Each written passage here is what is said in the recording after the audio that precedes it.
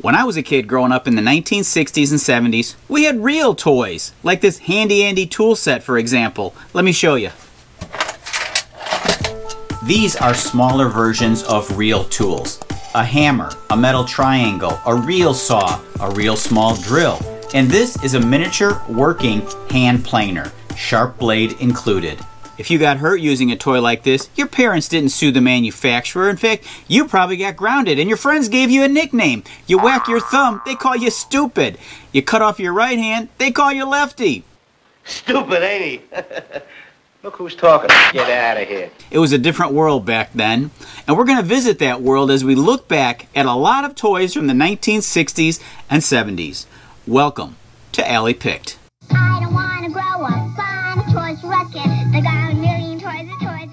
Mousetrap. This has got to be one of the most recognized games ever made. It was so popular that they made other games based off a Mousetrap, like this.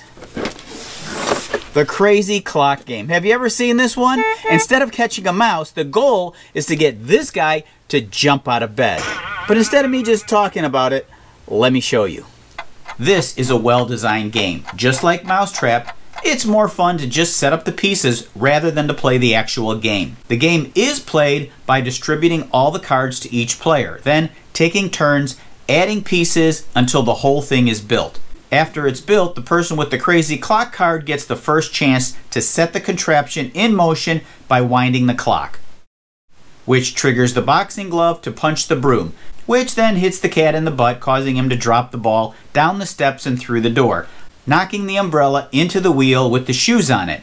The wheel goes downhill, hits the ball, down the chute, knocking into the clothesline, which is on a spring, causing it to fly up and hit the bird, releasing the ball, which drops into the bucket, spills out onto the pool table, hits the sign. The candle on the other end of the sign swings around, burning the sleeping man's feet, causing him to jump out of bed. And now, with the game assembled, let's see if we can get it to work.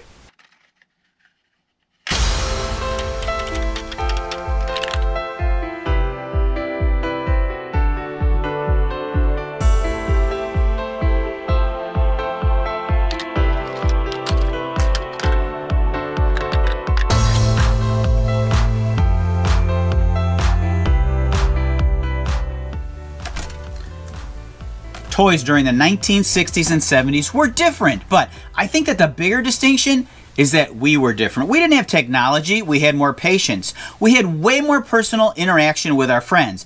During the summer months, we'd play with them from morning until night and then probably end up spending the night at their house without a screen being involved. Often we played baseball outside, softball, pinners, 500, fast pitch. We even played baseball using a deck of cards. You split the deck in half between two players. You deal three cards off from the top.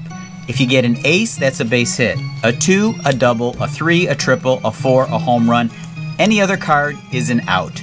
You play nine innings just like regular baseball. Now, if this wasn't enough baseball, we might play a game like this computer baseball. However, there's no computer involved. This thing uses a complicated and well engineered set of gears to simulate a baseball game. Let me show you. This is a baseball pinball game. It keeps track of runs, hits, balls, strikes, and outs. Flip the spring lever and see where the ball lands.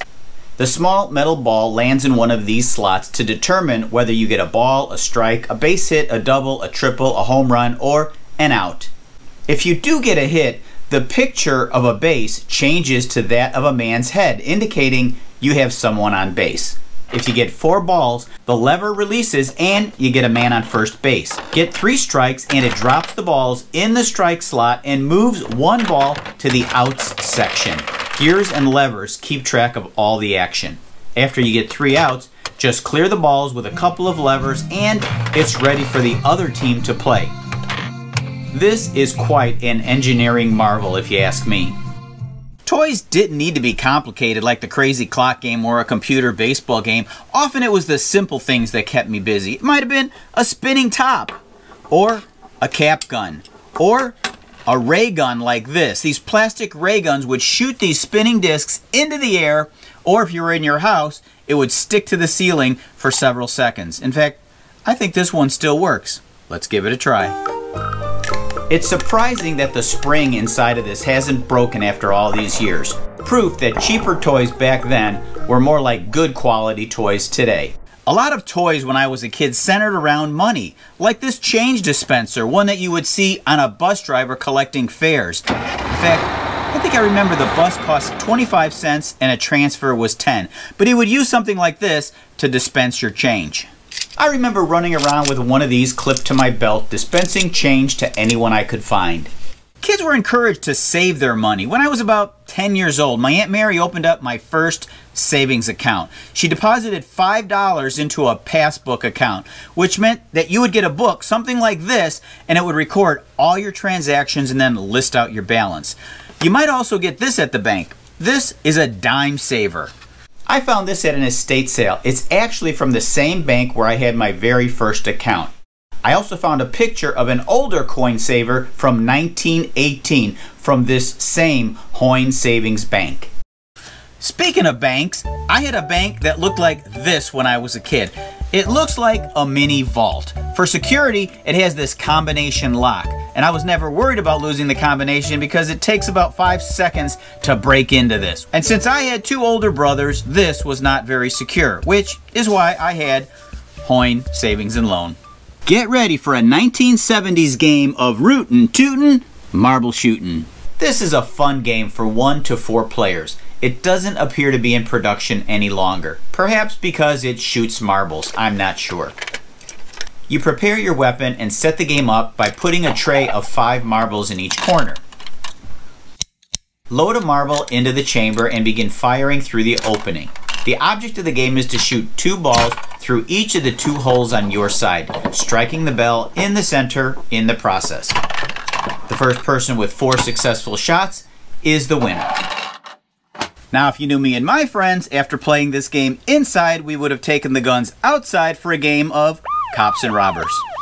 The last game on my agenda today is from 1964, and frankly, it was nothing but trouble.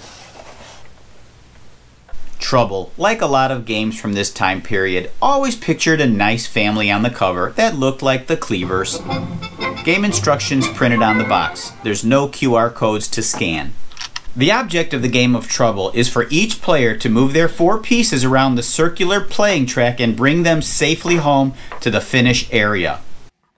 The thing that made this game the most fun was the Pop-O-Matic cube shaker in the middle of the board. Each player presses the Pop-O-Matic and the highest number starts. The key number is 6. Each time a player has his turn, he's entitled to one pop and move. Each time a 6 shows up, he's entitled to an additional pop and then move. A player must pop a 6 before he can move the man out of the home base and into the starting circle.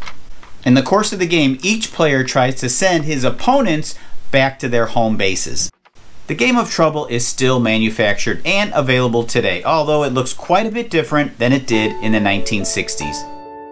I sure hope you enjoyed this walk with me down memory lane as I relived a lot of my childhood toy memories from the 1960s and 1970s. Now, if you enjoyed them too, please give this video a thumbs up, subscribe, and thanks for watching Alley Picked.